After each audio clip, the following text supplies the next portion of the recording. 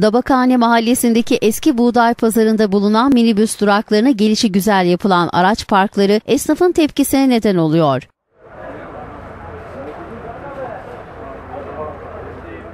Durak dışındaki sokaklarda park metre uygulaması nedeniyle birçok araç para ödememek için minibüs durağının içerisine park yapıyor. Bu durumda hem minibüs durağındaki esnafları hem de minibüsçü esnafını rahatsız ediyor.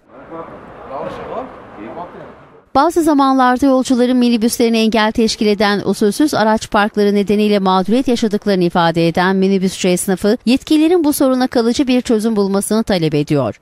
Otoparklar yüzünden çok mağduruz. Sanırım işlerinin yoğunluğundan dolayı gelemiyorlar buraya. Her gün burada dükkanlarımızın önünde park ediliyor. Bu park yüzünden doğru düzgün iş yapamaz olduk.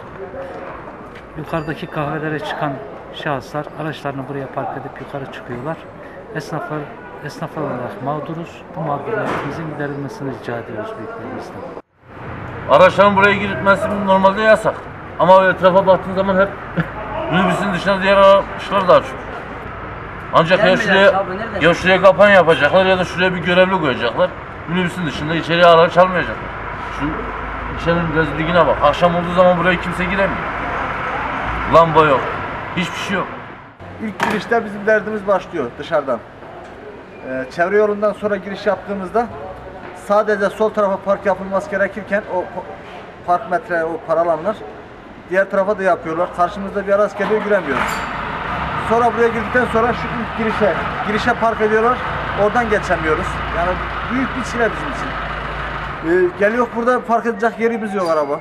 Arası park edecek yerimiz yok. Ve arabamız bir arabamız arızalandı. Yani bir kenara çekip de tamir edemiyoruz. Bir minibüsçü olarak e, buranın halinden şikayetçiyiz. Esnaf da şikayetçi, minibüsçü de şikayetçi. Çile, bizim çilemiz durağın girişinden beri başlıyor. Sağ tarafa park etmene gerekirken sol tarafa sağlı solu park var. Park metre olan yere park etmesi gerekirken adam para vermemek için 1 lira 2 lira vermemek için geliyor sol tarafa park ediyor. Girişimiz oradan beri başlıyor. Rezillik yani. Burası bir rezillik. Burası bura hususi durak arabası mı? Minibüs durağı mı belirsiz.